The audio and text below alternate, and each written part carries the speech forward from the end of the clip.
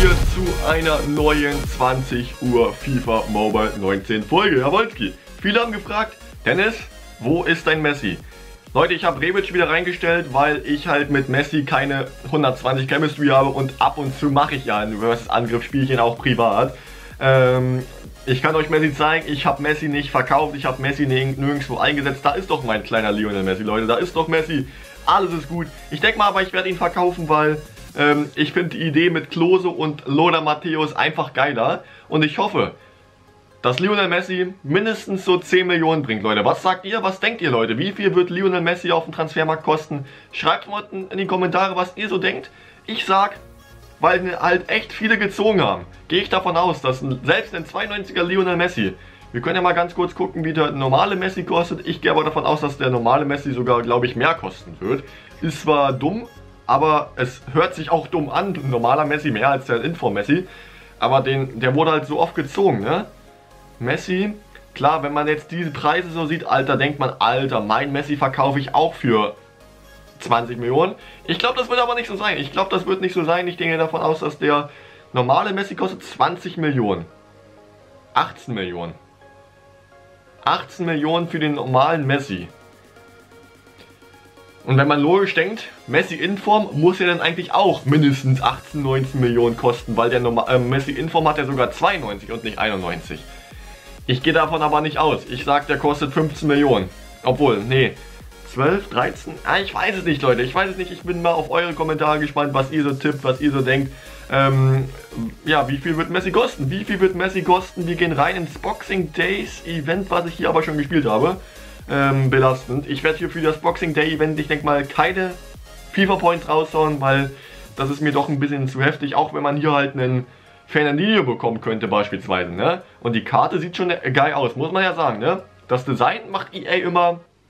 Das war's wirklich, Digga. Ja, aber was anderes bleibt mir jetzt nicht, Leute, ich kann, ich kann nur abwarten. Ich kann eigentlich nur abwarten, bis das ähm, Neujahrs-Event kommt und ich hoffe, da wird dann, werden die Icons veröffentlicht. Klose, das sind halt, dass es dann wieder parallel zum Neujahrs-Event ein ähm, Icon-Event gibt, wo man halt wieder die Icon-Packs ziehen kann, öffnen kann und dann Klose und Loda Matthäus. Klose und Loda Matthäus, das ist so mein Ziel oder mein nächster Plan. Fußballkälte, da haben wir das nächste Problem, Leute. Da haben wir das nächste Problem.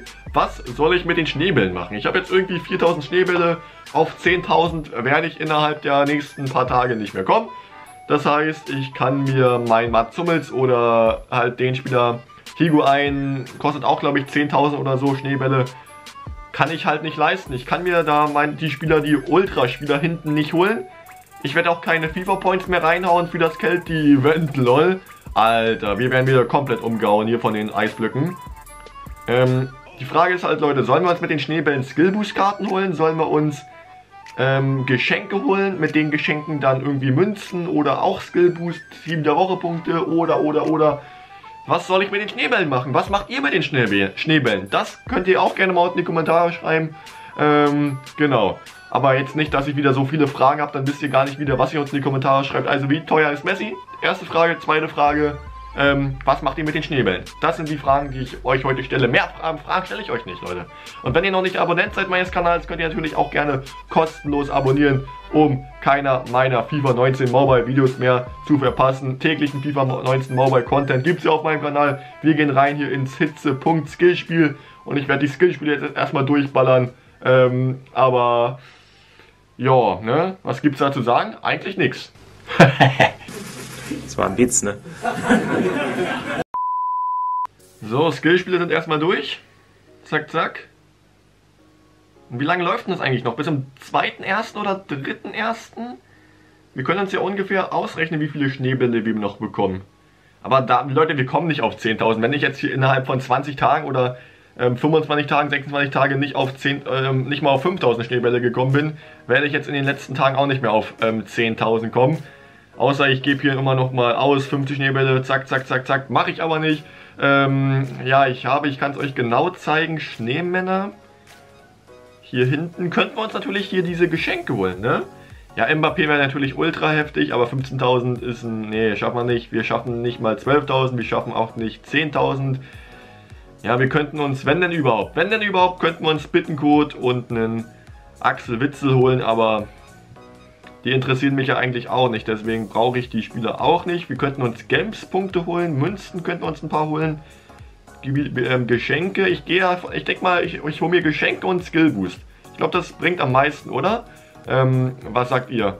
Könnt ihr gerne, wie gesagt, unten reinschreiben in die Kommentare. 23 Millionen Münzen habe ich jetzt, weil ich will jetzt meine Spieler auch nicht irgendwie trainieren. Ich will jetzt keine anderen Spieler auf den Transfermarkt holen. Könnte ich natürlich machen, aber dann gehe ich halt nicht dann weiß ich halt nicht, ob die Münzen ausreichen für Lothar Matthäus und für Miroslav Klose. Deswegen spare ich die erstmal und wir gehen rein in Versus Angriff, würde ich sagen. Oder habe ich Champions League schon gespielt? Obwohl Champions League ja auch nur Versus Angriff ist, ne? Ähm, ähm Skillspiele sind. Ich habe hier 290 Punkte. Die Gruppenphasenpunkte möchte ich hier für diese 1000 Punkte aufbewahren, dass wir dann hier Leute, das wird nochmal heftig, Mann. Da kriegen wir nochmal einen geilen Spieler. Ederson, Alexandro, Verratti, Insigne, Griezmann, Groß, Lewandowski, Messi. Eigentlich könnten wir gar keinen Spieler davon ins Team hineinstellen. Ja, der einzige wirklich wäre Lewandowski und ein Groß. Aber natürlich würde ich am liebsten Messi nehmen, weil er halt am meisten kostet, ne? Ganz klar. Ich denke mal, wir sollten noch auf 1000 Punkte kommen, weil das Champions League läuft ja noch Ewigkeiten. Das läuft, das läuft halt so lange, wie die Champions League halt noch geht. Deswegen sollte es eigentlich kein Problem sein, da noch auf 1000 zu äh, kommen. Die ganzen Spiele muss ich auch noch machen. Hier kriegen wir ja auch noch mal Punkte. Zwei immer, bam bam muss ich auch noch zocken, habe ich ja noch vier Tage dafür Zeit. Aber ich würde sagen, wir spielen heute versus Angriff.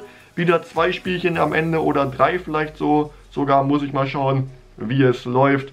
Zack, das Keltisch Pack ist natürlich auch noch am Start hier. Ähm, das lohnt sich auf jeden Fall. Leute, kann ich euch nur ans Herz legen, euch äh, ähm, versus Angriff zu zocken und halt immer das Keltisch Pack da zu aktivieren. Weil man dadurch halt locker easy Skill Boost Karten bekommt und halt auch Hitze- und Kältepunkte. Genau, um dann halt bei der Schneeflocke weitermachen zu können. So, kriegt man eigentlich, wenn man eine Schneeflocke irgendwie komplett abgeschlossen hat, weil ich will jetzt einfach, lol, er hat einen Hazard 93, WTF. Wie viel hat der denn da investiert ins Kälte-Event? Der Lacker hier, Kokori PL Crow, alles klar, 96 gegen 96, 120 Chemistry, 120 Chemistry, Duell auf Augenhöhe. Let's go. Und ich hoffe, dass ich das Spielchen hier gewinnen kann. Komm, Johnson, geh vorbei, den muss er reinhauen. Nein, was mache ich denn? Alter, Robin,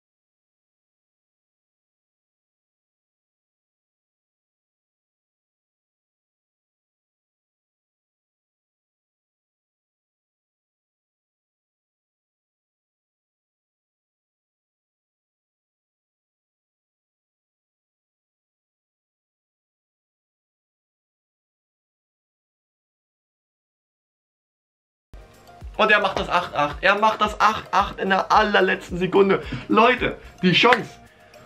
Die Chance von Fabian Johnson, hätte ich die am Anfang reingemacht, hätte ich jetzt gewonnen. Ich hätte jetzt gewonnen, aber somit spiele ich unentschieden. Egal, ist... Nee, ist nicht egal, Mann. Ich hätte das Spiel gewinnen müssen. Ist einfach so, Mann. Let's go, wir gehen rein ins nächste Spiel. Ein zweites Spiel. Ich hoffe, dass ich das jetzt hier gewinnen kann. Eigentlich hätten wir das erste eben auch gewinnen müssen. Hätte, hätte. Fahrradkette. Habe ich nicht gewonnen. Deswegen hoffe ich, dass ich das Spiel jetzt hier gewinnen kann. Komm, lad mal ein bisschen schneller hier, FIFA Mauber. Dankeschön. So, was hat der Gegner? Wahrscheinlich 102? 105? Oh, oh, wieder Duell auf Augenhöhe. Mit Ronaldo, mit Dybala. Alter, war das Full ähm, Serie, ähm, Full Juventus Turin? Ich habe es jetzt nicht genau gesehen, weil ich die Zeit wieder zu kurz war. Ich konnte nur Ronaldo sehen und habe Dybala noch im Zentrum gesehen und Mandzukic und Costa habe ich gesehen. Mehr Spiele habe ich nicht gesehen.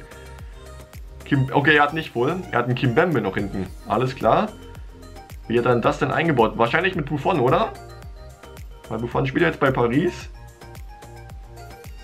Romagnoli ist halt Italiener, würde halt Buffon perfekt reinpassen. Mal gucken. Ich glaube, der sieht auch aus wie Buffon. Der sieht aus wie Buffon. Und Chiellini hat auch noch hinten. Joshua Kimmich. Boom. Perfekter Start hier. Freistoß auch noch einnetzen hier. Toni Groß. Toni Groß. Toni Groß. Wie groß. Toni Groß. Zauberfuß. Kimmich. Ja. Jetzt bloß nicht schwächeln, ja? Ich habe so gut angefangen. 4-3. Das kann nicht sein. Das kann nicht sein. Komm, Meier. Arne Meier, Arne Meier. Dankeschön. An den Pfosten und dann geht er rein. 30 Sekunden. 5-4. Ich sehe schon. Ich spiele am Ende unentschieden. Ja, Mann. 6-4. 20. Eieiei. Komm, Johnson, wenn, du, wenn du den jetzt hier reinmachst, könnte es der Sieg sein. Und es ist wahrscheinlich der Sieg. 7-4. Drei Tore, jetzt nochmal eine tolle Chance. Arne Meyer. Der ist drin, Leute. Wir gewinnen das zweite Spiel. Sehr schön. Ähm, 8-4. Freistoß geht nicht rein. Wir kriegen nochmal eine Ecke. Wir kriegen keine Ecke. Zeit ist abgelaufen, Leute. Ich bedanke mich jetzt fürs Zuschauen. Ich hoffe, euch hat die Folge gefallen. Wenn ja, lasst ein Like, lasst ein Abo da. Ähm, ich bin jetzt hier raus an dieser Stelle. Ihr wisst ja, die Kamera kann immer nur 14, 15 Minuten aufnehmen. Wir, stehen, sind, wir, wir sind schon bei 14 Minuten Aufnahmezeit. Mal gucken, wann das ausgeht. Dann hört ihr auch meine Stimme nicht mehr. Leute, ich bin jetzt hier raus. Ne? Ähm, wir sehen uns morgen wieder. Ganz klar. Ich werde eure Teams. Gab heute auch schon um 17 Uhr. Ich lehne mich zurück und trinke ein Schlückchen aus der Wasserflasche.